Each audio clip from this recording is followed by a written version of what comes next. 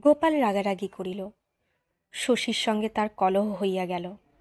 চেঁচামেচি করিয়া সে বলিতে লাগিল যে, এমন কাণ্ড জীবনে সে কখনো দেখে নাই।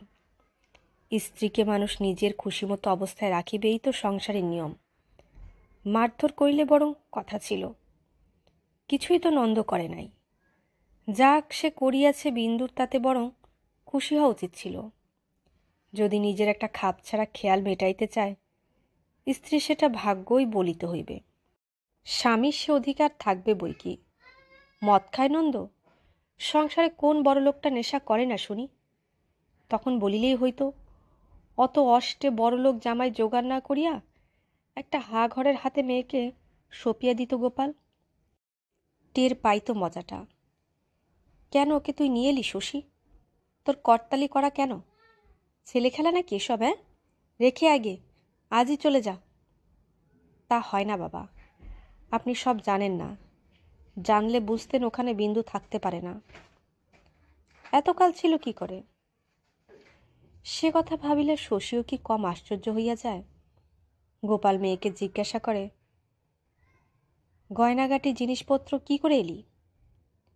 হানিনি বাবা। কেন? আননি কেন? আমার কি ছিল জানব? আনলে চোর বলে জেলে দিত। শুনিয়া গোপাল রাগিয়া ওঠে। জেলে দিত? গোপাল দাসের মেয়েকে অত সহজে কেউ জেলে দিতে পারে না। তোরা সব কটা ছেলে মানুষ, কাঁচা বুদ্ধি তোদের। তোরা ঢের কষ্ট পাবি, এ আমি বলে রাখলাম। গোলমাল করার ফল হইল এই, শশীর সঙ্গে গোপালের আবার কথা বন্ধ হইয়া গেল। ছেলের সঙ্গে এরকম মনান্তর গোপালের বাৎসল্যর জগৎ মনন্তরের সমান। বড় কষ্ট হয়। দিন যায়, কলহ মেটে না। গোপাল উসখুস করে। ছেলে যেন আকাশে দেবতা হইয়া উঠিয়াছে। নাগাল পাওয়া কঠিন। শেষে গোপাল নিজেই একদিন মরিয়া হইয়া শশীর ঘরে যায়। শশী মোটা ডাক্তারি বইটা নামাইয়া রাখিলে সেটা সে টানিয়া লয়, পাতা উল্টায়। আর ছেলের এত মোটা বই পরিবার অমানুষী প্রতিভায় সুস্পষ্ট গর্ববোধ করে। বলে, যতক্ষণ বাড়িতে থাকো, বই পড়ে সময় কাটাও। শরীর তোমার খারাপ হয়ে যাচ্ছে, শশী। এত পড়ো কেন? পরীক্ষা তো নেই। আগে তো এরকম পড়তে না দিনরাত? ডাক্তারের সর্বদা নতুন বিষয় জানতে হয়, শশী বলে। যা তুমি জানো, শশী, গায়ে ডাক্তারি করার পক্ষে তাই ঢের। শহরে গিয়ে যদি বসি কখনো? কি বিচিত্র চক্র? কথোপকথনের বিন্দুর কথা আলোচনা করিতে আসিয়া কি কথা উঠিয়া পড়িল দেখো। শহর? শহরে গিয়া ডাক্তারি করার মতলব আছে নাকি শশীর? তাই এত পড়াশোনা? গোপাল বিবর্ণ হইয়া যায়। এই গ্রামে একদিন কুড়ে ঘরে গোপালের জন্ম হইয়াছিল। এইখানে একদিন সে ছিল পরের দুয়ারে অন্যের কাঙ্গাল। আজ সে এখানে দালান দিয়াছে। এক বেলায় তার দাওয়ায় পাত পড়ে তিরিশখানা। চারদিকে ছড়ানো টাকা, ছড়ানো জমি জায়গা। ঘরে বাইরে এখানে তাহার আদর্শ বাঙালি জীবনের বিস্তার। এইখানে মরিতে হইবে তাহাকে। শশী এখানে থাকিবে না। অনুসরণ করবে না তার পদাঙ্ক। গোপাল ব্যাকুল হইয়া বলে, ওসব সর্বনেশে কথা মনে এনো না শশী? শশী বলে সময় সময় মনে হয় শহরে বসলে পয়সা বেশি হতো। ছাই হতো। শহরে ঢের বড় বড় ডাক্তার আছে। তুমি সেখানে পাত্তাও পাবে না, শশী। এখানে মন্দ কি হচ্ছে তোমার? তাছাড়া ডাক্তারিতে পয়সা নাইলেও তোমার চলবে। জমি জমা দেখবে, সুদ গুনে নেবে। ডাক্তারিতে কিছু হয় ভালো, না হয় নাই হবে। গায়ে আর ডাক্তার নেই। অচিকিৎসে মরে গায়ের লোক, সেটাও তো দেখতে হবে। বড় তুই স্বার্থপর শশী। গোপাল পালায়। কি বলিতে কি বলিয়া ফেলিবে? আবার হয়তো পনেরো দিন কথা বন্ধ থাকিবে ছেলের সঙ্গে। খানিক পরে গোপাল আবার শশীর ঘরে ফিরিয়া যায়। বলে, চাবিটা ফেলে গেলাম নাকি রে? শশী বলে, চাবি? ওই যে আপনার পকেটে চাবি? চাবির ভারে কর্তার পকেটটা ঝুলিয়াই আছে বটে। গোপাল অপতিভ হইয়া যায়। পদে পদে জব্দ করে। কি ছেলে? খানিক সে চুপ করিয়া বসিয়া থাকে। তারপর করে কি হঠাৎ অন্তরঙ্গভাবে জিজ্ঞাসা করে হ্যাঁ রে শশী, গায়ে তোর মন টিকছে না কেন বলতো? গায়ের ছেলে তুই। মন টিকবে না কেন? তবে যে শহরে যাবার কথা বলছিস, ঠিক করিনি কিছু। কথাটা মনে হয় মাত্র। শশীর শান্ত ভাব দেখিয়া নিজের উত্তেজনায় আর এক দফা অপ্রতিভ হয় গোপাল। ছেলে বড় হইয়া কি কঠিন হইয়া দাঁড়ায় তার সঙ্গে মেশা। সে বন্ধু নয়, খাতক নয়, উপরওয়ালা নয়। কি যে সম্পর্ক দাঁড়ায়, বয়স্ক ছেলের সঙ্গে মানুষের ভগবান জানেন। একদিন নন্দর একখানা পত্র আসিল বিন্দুর নামে। লিখিয়াছে, চিঠি পাওয়া তিন দিনের মধ্যে ফিরিয়া গেলে এবারের মতো ক্ষমা করিবে। শশী আগুন হইয়া বলিল, ক্ষমা? তাকে কে ক্ষমা করে ঠিক নেই? কোন সাহসে ক্ষমার কথা লেখে? তুই যেন ভদ্রতা করে চিঠির জবাব দিতে বসিস না, বিন্দু। জবাব দেব না? শশী অবাক হইয়া বলিল, জবাব দেওয়ার ইচ্ছে আছে নাকি তোর? সব সম্পর্ক চুকিয়ে দিয়ে এলি, চিঠির জবাব দেবে কীরকম? বিন্দু বলিল, দেব না দাদা দেব কি না জিজ্ঞেস করলাম। এও জিজ্ঞেস করতে হয়? বিন্দু ম্লানভাবে হাসিল। মনটা বড় নরম হয়ে গেছে, দাদা। একেবারে সাহস নেই। নিজে নিজে কিছু ঠিক করতে পারি না। নইলে দেখো না, আগে কি পালিয়ে আসতে পারতাম না আমি? একখানা চিঠি লিখিয়া নন্দ আর সারা শব্দ দিল না। শীতের দিনগুলি তাড়াতাড়ি কাটিয়া যাইতে লাগিল। কুসুমের সঙ্গে শশীর কদাচিৎ দেখা হয়। দেখা করিবার জন্য কোনো পক্ষেই যেন তাড়া নাই। তাছাড়া শশী বড় ব্যস্ত। শীতকালে গ্রামে অসুখ বিসুখ কিছু কম থাকে বটে। সে শুধু অন্য সময়ের তুলনায় কিছুদিন আগে বাজিতপুরে হাসপাতালে ডাক্তারের সঙ্গে মুখ চেনা ছিল শশীর। তাকে সে বলিয়া আসিয়াছিল। হাসপাতালের কোনো অসাধারণ রোগী আসিলে শশীকে তিনি যেন একটা খবর দেন। শুধু বই পড়িয়া শেখা যায় না। মাঝে মাঝে শশী বাজিতপুরে যায়। বড় রকমের অপারেশন দেখিবার সুযোগ থাকিলে নিজের রোগীদের কথা ভুলিয়া দু একদিন সেখানে থাকিয়ে আসে। কুসুম নালিশ করে না। কি যেন হইয়াছে কুসুমের। বোধহয় ভুলিয়া গিয়াছে নালিশ করিতে। এমন অন্য মনস্কতা মাঝে মাঝে আসে বই কি মানুষের? অভ্যস্ত কাজের যাতে ভুল হইয়া যায়। ফাল্গুনের গোড়ায় হঠাৎ একদিন কুমুদ আসিয়া হাজির। কদিন থাকতে দিবি শশী? যতদিন থাকবি, শশী খুশি হয়। সত্যি থাকবি? থাকব বলে এলাম। ভালো লাগলে থাকব। শশী হাসিল। ভালো লাগার মতো কী বা আছে গায়ে? ডোবা, জঙ্গল আর মুখ্য মানুষ। ভালো না লাগলেও থাকে কুমোদ কিছুদিন। সঙ্গীর অভাবে বড় চিন্তাশীল হয়ে উঠেছি। কুমোদ বলিল, সঙ্গীর অভাব? বিয়ে কর না।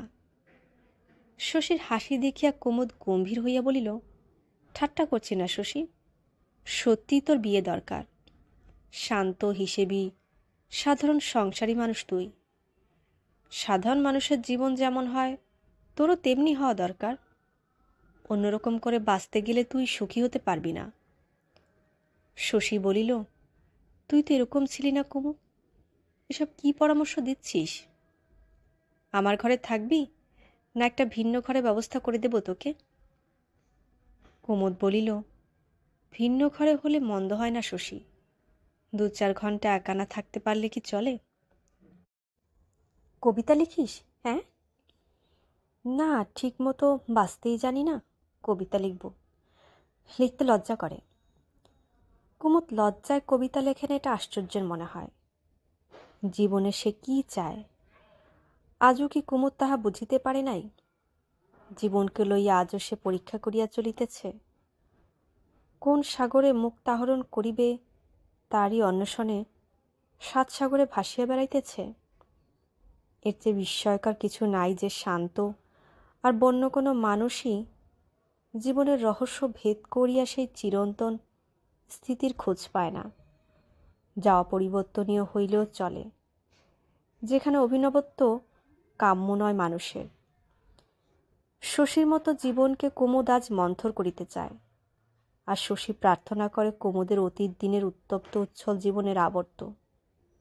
সুখ যে তাতে বিশেষ হইবে না তা জানে শশী। তবু মন কেমন করে? কুমুদ যে কেন গাও দিয়ায় আসিয়াছে শশী ঠিক তাহা বুঝিয়া উঠিতে পারিতেছিল না।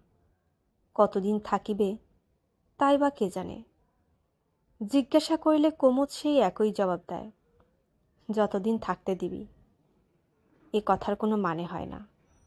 সে যদি ছয় মাস এক বছর এখানে থাকিয়া যায়, শশী কি তাহাকে বলিবে যে এবার তুমি বিদায় হও? কুমুদের মধ্যে একটা নতুন পরিবর্তন এবার শশীর চোখে ধরা পড়িতেছিল। সেবার তাহার মুখে চোখে কথায় ব্যবহারে যাত্রার দলে অধপতনের পরিচয় ছিল স্পষ্ট।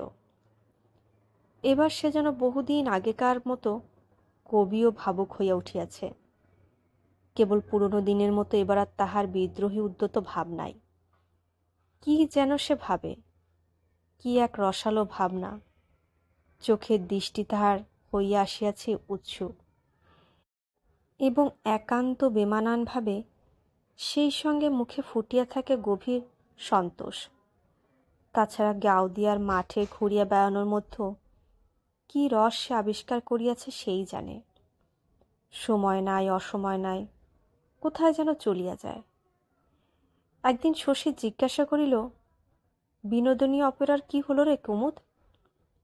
কুমুদ বলিল, ও দলটা ছেড়ে দিয়েছি। বৈশাখ মাসে সরস্বতী অপেরা বলে আরেকটা দলে ঢুকব। কথাবার্তা সব ঠিক হয়ে আছে।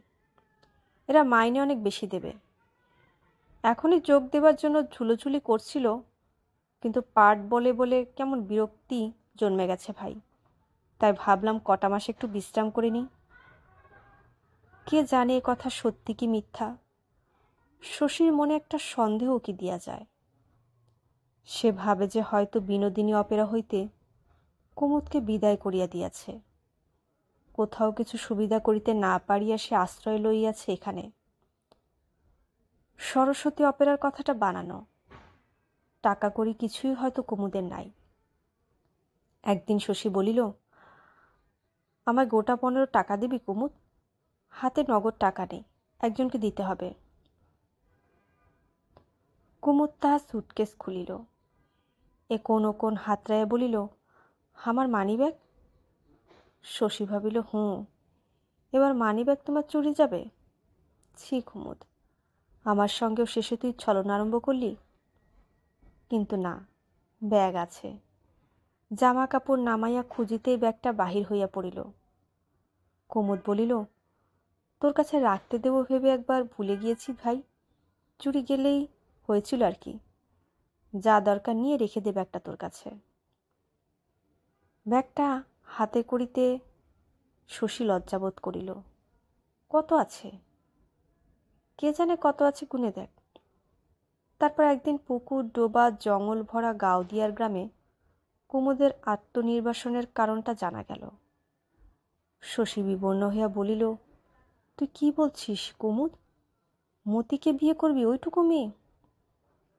কুমুদ বলিল, বিশেষ ছোট নয়, তাছাড়া ছোটই ভালো। বিয়েই যদি করিব ধাড়ি মেয়ে, বিয়ে করব কোন দুঃখে? শশীর রাগ হইতেছিল। কেমন একটা জ্বালাও সে বোধ করিতেছিল।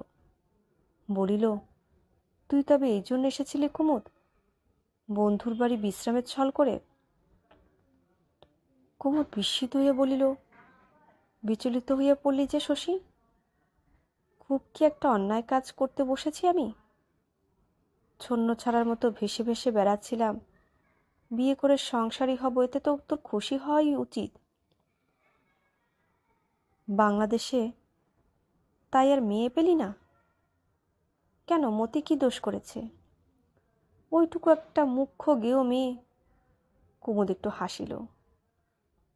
তুই যে কার দিকে টানছিস বুঝুরতে পারছি না শশী। মতি মুখ্য গেও মেয়ে বটে। আমিও তো যাত্রাদলের সং। কুমুদের হাসি দেখিয়া শশী আরও রাগিয়া গেল। এ জগতে কিছুই যেন কুমুদের কাছে গুরুতর নয়। যখন যা খেয়াল জাগে খেলার ছলেই যেন তা করিয়া ফেলা যায়। জীবনের যেন মানুষের নিয়ম নাই, বাঁচিবার রীতি নাই। মনের রাগ চাপিয়া বিচারকের রায় দেওয়ার ভঙ্গিতে শশী বলিল, এসব দুর্বুদ্ধি ছেড়ে দে কোমদ। যাত্রা দলের সং সেজে থাকতে তোকে কে বলেছে? সরস্বতী অপেরায় ঢুকে আর কাজ নেই, ফিরে যা তোর কাকার কাছে। কাকার তোর অত বড় মাইকার কারবার। একটা ভালো রকম কাজ তোকে তিনি দিতে পারবেন না? তখন সমান ঘরের কত ভালো ভালো মেয়ে পাবি? তোর উপযুক্ত সঙ্গিনী হতে পারবে। খেয়ালের বসে একটা গেও মেয়েকে বিয়ে করে কেন জ্বলে মরবি আজীবন? কোমদ বলিল, কাকার দুটো গ্রেট ডেন কুকুর আছে, জানিস? শশী অবাক হইয়া বলিল, না। কাকার বাড়ির গেটের ভেতর ঢুকলে কুকুর দুটো তিনি লেলিয়ে দেবেন। কথাটা হইতেছিল শশীর ঘরে। সন্ধ্যার পর। ঘরে ষাট টাকা দামের একটা টেবিল ল্যাম্প জ্বলিতেছিল। এত আলোতে পরস্পরের মুখের দিকে চাহিতে তাদের যেন কষ্ট হইতে লাগিল। রাগ শশীর মনে বেশিক্ষণ টেকে না। খানিক চুপ করিয়া থাকিয়া সে বলিল, মতিকে তোর ভালো লাগল কুমুদ বিশ্বাস হতে চায় না। প্রথমে আমারও হয়নি। সেবার যখন চলে গেলাম, কে জানতো ওর জন্য আবার ফিরে আসতে হবে? তারপর কুমুদ তালপুকুরের পাড়ে অবোধ গ্রাম্য বালিকার সঙ্গে তার ভালোবাসার জন্ম ইতিহাস ধীরে ধীরে শশীকে শোনাইয়া দিল। এতটুকু মেয়ে মতি, তার যে এমন একটা মন থাকিতে পারে, যাহাতে অতল মেহের সঞ্চার সম্ভব তাকে কুমুদ জানিত? সরল মনে স্নেহ ছাড়া আর সবই যে ফাঁকি মানুষের জীবনে, মতি কুমুদকে শিক্ষা দিয়াছে। সত্য কথা বলিতে কি এ অপূর্ব অভিজ্ঞতা কুমুদ তো কোনোদিন কল্পনাও করে নাই। শুনিতে শুনিতে শশীর বিস্ময় সীমা থাকে না। মতি, ওই একরত্তি নোংরা মেয়েটা গোপনে গোপনে এত ভালোবাসিয়েছে কুমুদকে? শশীর মনে হয় সব কুমুদের বানানো। দিবা স্বপ্ন, কল্পনা, মুখে মুখে গীত গোবিন্দর মতো যে মহাকাব্য কুমুদ রচনা করিয়া চলিয়াছে। মতি কি কখনো তার নায়িকা হইতে পারে? সেদিন অনেক রাত্রি অবধি শশী ঘুমাইতে পারিল না। কুমুদের সঙ্গে মতির বিবাহ কেমন করিয়াইয়া ঘটিতে দেওয়া যায়? চিরদিন কুমুদ ছন্ন ছাড়া যাযাবরের জীবনযাপন করিয়াছে। সাময়িক একটা নীর প্রেম তার মধ্যে দেখা দিলেও এটা যে স্থায়ী হবে, বিশ্বাস করা কঠিন। তাছাড়া মতির মূর্খতা এবং গ্রাম্যতা অসহ্য হইয়া উঠিতে কুমুদের বোধহয় ছ মাসও সময় লাগিবে না। কি উপায় হইবে মতির তখন? কুমুদ কষ্ট দিলে, ত্যাগ করিলে, নিরীহ বোকা মেয়েটার জীবন যে দুঃখে ভরিয়া উঠিবে, কে তার দায়িত্ব গ্রহণ করিবে? একদা প্রিয় বস্তুগুলি জীবন হইতে ছাটিয়া ফেলাই যে স্বভাব কুমুদের। পরদিন কুমুদকে সেই বিষয়ে প্রশ্ন করিল, বলিল, মতিকে তোর বেশি দিন ভালো লাগবে কেন কুমুদ? মতিকে আমার চিরদিন ভালো লাগবে। কি করে লাগবে তাই ভাবছি। কুমুদ বলিল, শশী, তুই কি ভাবিস বিয়ের পরেও মতি এমনি থাকবে? ওকে আমি মনের মতো করে গড়ে তুলব না? খনি থেকে তোলা হীরের মতো ওকে আমি গ্রহণ করেছি। নিজে কাটবো, ঘষবো, মাজবো, উজ্জ্বল করে তুলব। ওর মনের কোনো গরণ নেই। তাই ওকে বিয়ে করতে আমার এত আগ্রহ। ওর মনকে আমি গড়ে নেব। আমার সঙ্গিনী হতে পারে এমন মেয়ে জগতে নেই ভাই। সঙ্গিনী আমার সৃষ্টি করে নিতে হবে আমাকেই। শশীর অর্ধেক মন সংসারী হিসেবে সতর্ক। এসব বড় বড় কথা শুনিলে তার বিরক্তি জন্মে। মনের মতো গড়িয়া তুলিতে গেলে মানুষ যে মনের মতো হয় না, এটুকু জ্ঞান কি কুমুদের নাই? পরের চেষ্টায় মনের যে বিকাশ, তাহা অস্বাভাবিক, অপ্রীতিকর। মতিকে ছাঁচে ঢালিয়ে একটা সৃষ্টি ছাড়া অদ্ভুত জীবে পরিণত করিবার ধৈর্য কুমুদের থাকিবে কিনা সন্দেহ। থাকিলেও সেই পরিবর্তিত মতিকে কি তাহার ভালো লাগিবে? কীভাবে বা মতিকে সে গড়িয়া তুলিবে? লেখাপড়া গান বাজনা ছবি আঁকা, শুধু এইসব শিক্ষা তাকে দেওয়া সম্ভব। তার অতিরিক্ত আর কি করিতে পারবে কুমুদ? মতির নিজস্ব সত্তাটুকু পর্যন্ত কুমুদ যদি তাকে দান করে স্বতন্ত্র, সম্পূর্ণ মানুষ হিসেবে কি মূল্য থাকবে মতির? কুমুদ এত জানে। এটুকু জানে না যে প্রিয়াকে মানুষ গড়িয়া লইতে পারে না। মেয়ের মতো যাকে শিখাইয়া পড়াইয়া মানুষ করা যায়, তাকে বসানো চলে না প্রিয়ার আসনে? ভাবিয়া শশী কিছু ঠিক করিতে পারে না। এক সময় সে খেয়াল করিয়া অবাক হয় যে, মতির সঙ্গে কুমুদের ভালোবাসার খেলাটা তাহার বিশেষ খাপ ছাড়া মনে হইতেছে না। ওদের বিবাহের কথাটাই তার কাছে সৃষ্টি ছাড়া কাণ্ডের মতো ঠেকিতেছে। মতিকে নষ্ট করিয়া কুমুদ যদি চলিয়া যাইত, শশীর দুঃখের সীমা থাকিত না, তবু যেন মনে হইতো অস্বাভাবিক কিছু ঘটে নাই। দুইজনের মধ্যে যে দুস্তর পার্থক্য, তাহাতে, তাহাদের দুদিনের নিন্দনীয় ঘনিষ্ঠতা ছাড়া আর কি সম্পর্ক তাহাদের মধ্যে হওয়া সম্ভব? ওদের বিবাহ অবাস্তব অর্থহীন। এ চিন্তায় শশী লজ্জা পায়। মতির জন্য তার মনের বাৎসল্য মেশানো এক প্রকার আশ্চর্য মমতা আছে। মতিকে কুমুদের বউ হওয়ার অনুপযুক্ত মনে করিতে তাহার কষ্ট হয়। সেদিন বিকালে মতির সঙ্গে শশীর দেখা হইল। মতি এক ডালা কুমড়া ফুল লইয়া তাহাদেরই বাড়ি আসিয়াছিল। শশীকে যে কথাটা জানানো হইয়াছে, কুমুদ হয়তো মতিকে সংবাদ দিয়াছিল। শশীকে দেখিয়া মুখখানা তার রাঙা হইয়া উঠিল। তারপর একটু হাসিল মতি। হঠাৎ লজ্জা পাইলে এই বয়সে ঠোঁটে একটু হাসি চিরেক দিয়া যায়। মতির মুখখানা শশীর অসাধারণ সুন্দর মনে হলো। সে ভাবিল হয়তো কুমুদ ভুল করে নাই। হয়তো সত্যি একদিন সে মতিকে রূপে গুণে অতুলনীয়া করিয়া তুলিবে। মতি চলিয়া গেলে কুমুদের এই শক্তিকে কিন্তু শশীর আর বিশ্বাস রহিল না। খনি গর্ভেও হীরার মতোই বটে মতি। তাকে একদিন অনুপমা ও জ্যোতিময়ী করে তুলিয়া সম্ভব। কিন্তু কুমুদ তাহা পারিবে না। ভবিষ্যতের স্বপ্ন দেখিবার প্রতিভা আছে কুমুদের। স্বপ্নকে সফল করিবার তপস্যা নাই। মতির মুখের পেলব ত্বকে দুদিনে সে দুঃখের রেখা আনিয়া দিবে। মনটা শশীর খারাপ হইয়া থাকে। কুমুদের প্রতি সে বৃতৃষ্ণা বোধ করে সীমাহীন। এ কি বন্ধুর কাজ? বন্ধুর বাড়ি আসিয়া তাহার স্নেহের পাত্রীর সঙ্গে গোপনে ভালোবাসা খেলা করা। উপায় থাকিলে কুমুদকে সে তাড়াইয়া দিত। কিন্তু কুমুদের কথা শুনিয়া আর তো মনে হয় না মতির কোনো দিকে আশা ভরসা আছে। কুমুদের সম্বন্ধে মতির উৎসুক প্রশ্ন। কুমুদকে দেখিবার আশায় মতির কলকাতা যাওয়ার আগ্রহ। সব এখন শশীর মনে পড়িতে থাকে। প্রেম কুমুদের জন্য এতখানি প্রেম জাগিয়াছে মতির বুকে? তাছাড়া হয়তো মতির বুক ভরা প্রেমই শুধু নয়। কুমুদকে বিশ্বাস নাই।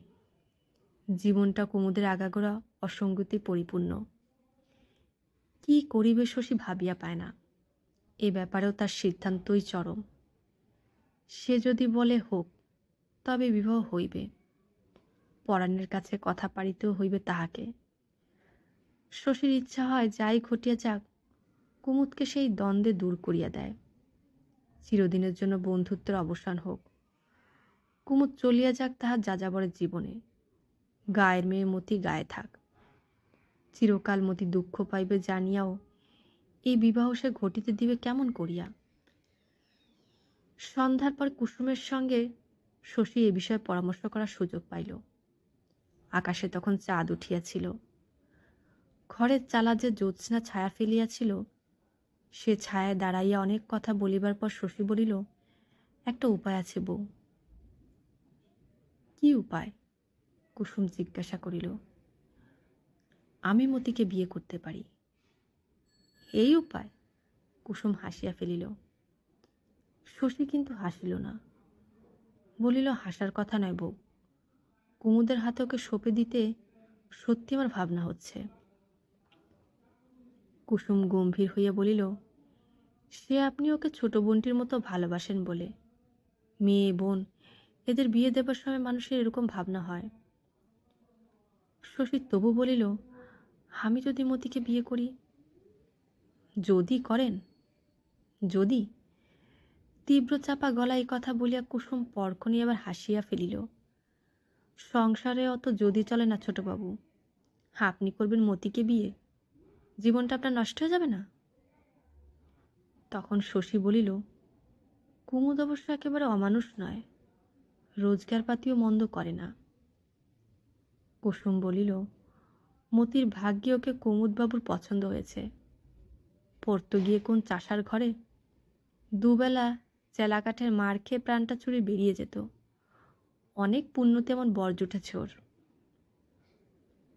হোক হবে তাই হোক, মতি কি বলে বউ? কি বলবে, দিন গুনছে। দিন গুনিতেছে মতি? গুনুক। কুসুমের উপর রাগে শশীর মন জ্বালা করিতে থাকে। সেদিন প্রত্যুষে তালবনে কুসুমের মধ্যে যে সরলা বালিকাকে আবিষ্কার করিয়া সে পুলকিত হইয়াছিল, হাত সে কোথায় গেল? কি পাকা বুদ্ধি কুসুমের। কি নিখুঁত কৌশলে মতির বিবাহ সম্বন্ধে সে তার মনের মোড় ঘুরাইয়া দিল। দুদিন ভাবিয়া সে যা স্থির করিতে পারে নাই। আধ ঘণ্টার মতো দুটো অচল যুক্তি দেখাইয়া কুসুম কত সহজে সব সমস্যার মীমাংসা করিয়া দিল। কুসুমের কাছে দাঁড়াইয়া মতির ভালো সম্বন্ধে এমন সে নির্বিকার হয়ে উঠিল কি সে? যে অনায়াসে বলিয়া বসিল, হোক তবে, তাই হোক। তাছাড়া এসব আজ কি বলিতেছে কুসুম? এমনি চাঁদনি রাতে আপনার সঙ্গে কোথাও চলে যেতে স্বাদ হয় ছোটবাবু। গভীর দুঃখের সঙ্গে শশীর মনে হয়, এ কথা কুসুমের বানানো। মতিকে পাছে সে আবার নিজে বিবাহ করিয়া কুমুদের হাত হইতে বাঁচাইতে যায়, তাই কুসুমেই মন রাখা বলিয়াছে। বলুক, সে তো কুমুদ নয়, তার জীবনে সবই অভিনয়। তবু চাঁদের আলোয় চারদিক আজ কেমন স্বপ্ন দেখিতেছে দেখো। এ যেন বিশ্বাস করিতে ইচ্ছা হয় না।